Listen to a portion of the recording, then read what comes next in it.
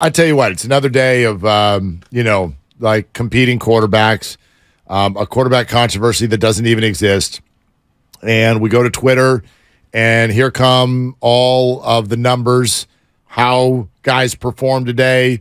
For those of you who you know have lives and you work and you don't know what happened at 49er practice today, Brock Purdy was very good, couple of touchdown throws, very very consistent over the middle. Um, Trey Lance was solid with his numbers, but those, and again, I do, do not kill the messenger. I'm passing along what all the reporters said. He had two incom- incompletions, and and both of them were short passes that were passes he should have been able to make. Sam Darnold probably had his worst day. Again, collectively, according to the people there, Brandon Allen, look out for that Brandon Allen. He's plucky dibs, and he did not throw any incompletions today at all. Five for five. Those of you who are into reps, Purdy all the first team reps. I think Lance had nine uh, or twelve reps. Darnold eleven. Brandon Allen nine. Okay, with that all out of the way, once those numbers are reported, and apparently like what order you write them in, what tone your voice is using when you pass them along. I didn't like your tone one bit. what parenthetical info you add in to those numbers. You mentioned incompletes only with Trey Lance. You're right. And they all had some, except for no. Except BA. Not Brandon Allen. Mr. Perfect. That interesting QB4 that the Niners have. Getting a lot more reps than any other QB4 in the world, Mark. In the world. Depending on all of those things, that determines the level of hate you have. You hate Trey Lance. For that's, Trey Lance. I mean, that, that's that's No. that's what I hear you saying. But th- this isn't personal. I know it's not a joke either. I should no, knock that off. It's a, like it, it is. It is everywhere. You hear it all the time. I hear it all the time. The way Trey Lance is covered is not fair. The slander. Okay, those of you who think that's true, why do you think that? What is it that you see? I will firmly state to you right now I have been to multiple camp events.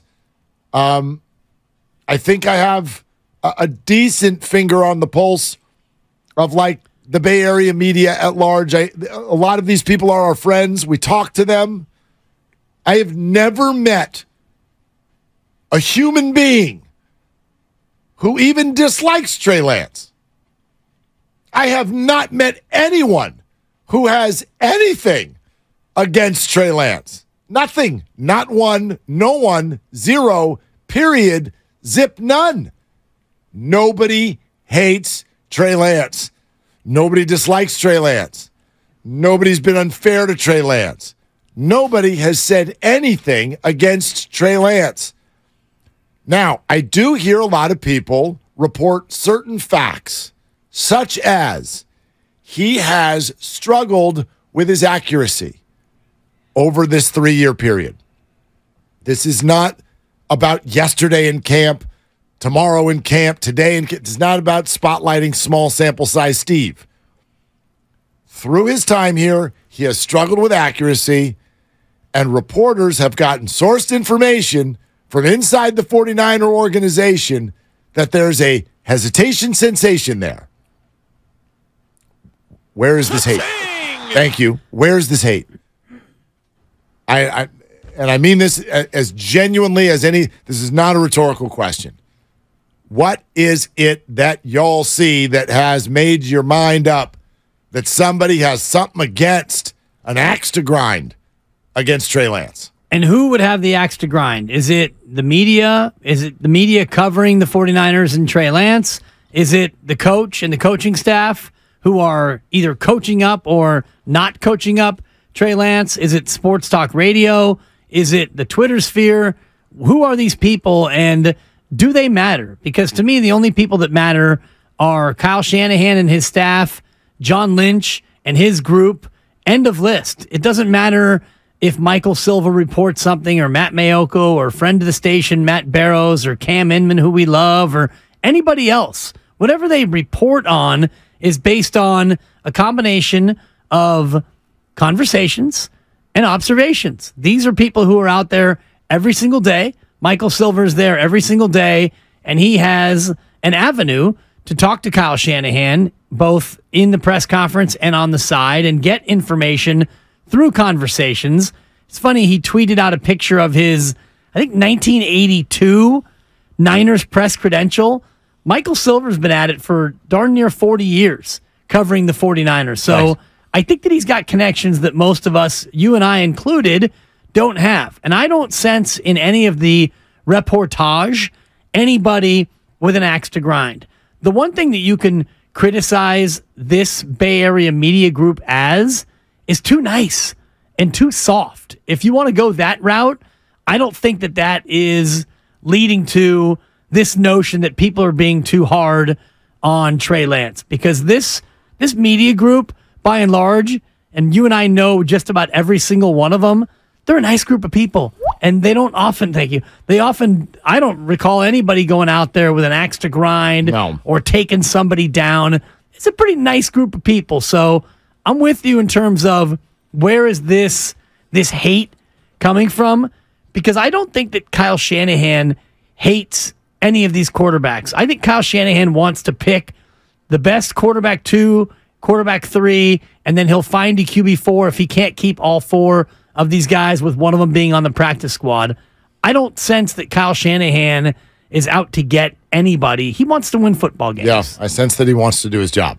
Right. That's what I sense.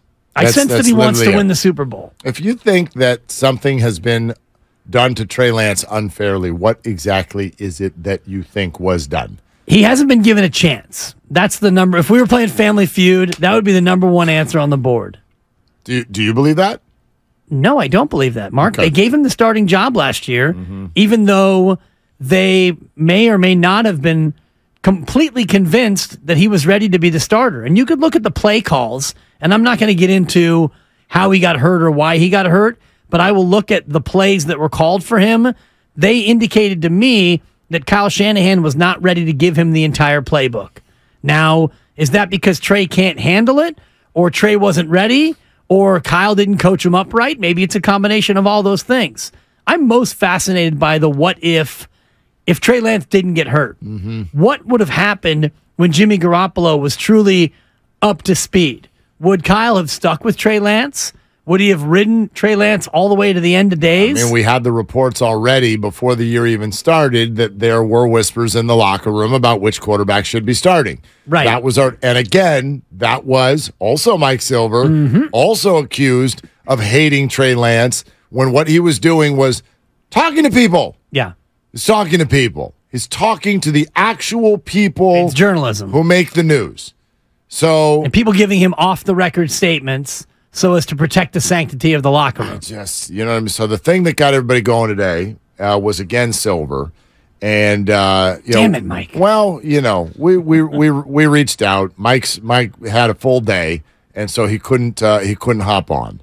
But I'll spotlight a couple things that he wrote in the Chronicle that got everybody going today. Um, he writes about the potential of trading Trey Lance. Says his current value is something the Niners front office surely would find depressing. As I reported last week, San Francisco was offered nothing better than a fifth round pick in the spring. Now, it's possible that impressive performances, next week's joint workouts, maybe in the preseason, could juice that up a bit, as Mike says, um, as could a wave of injuries to other teams' quarterbacks. And then comes the boogie. Here we go. Worst case, the 49ers could cut Lance. And he writes, Yes, we're getting ahead of ourselves, but this scenario is not outside the realm of possibility. Of course. And everybody went crazy. And Mike has literally had his arms up on social media all day, blocking blows from every direction when He's the Dikembe Mutombo of Twitter, though. So there's literally fair. Do you read Don't anything? block me. P.S. don't block me. exactly. Love you, Mike. Even anything, you, anything you read in here. Is there an opinion in there? no, cutting Trey Lance is the worst case scenario. Right. Best case scenario, Trey Lance is QB2. Second best, he's QB3. Third best, You find a team to pony up a draft pick that you're happy to trade Trey Lance for. Fourth case scenario, which would be the worst case scenario, you have to cut him because you don't feel like he can beat out Brandon Allen to be QB3. Yeah. I mean, is there anything that I said there that was No. inaccurate? No. And that's all Mike Silver is saying. No, I'm just I'm I'm trying to figure out how this conversation has has gone the way that it's gone. Uh, that's what I, there are so many things here that that if you're a 49er fan, you can be uncomfortable with them, you can be critical if you want, starting with the pick they made. Um, then people go to the play calling last year against Chicago and Seattle. I think there are healthy conversations there. Somehow this has gotten to anybody who says anything that questions even the slightest Trey Lance related thing. You hate him. You hate him.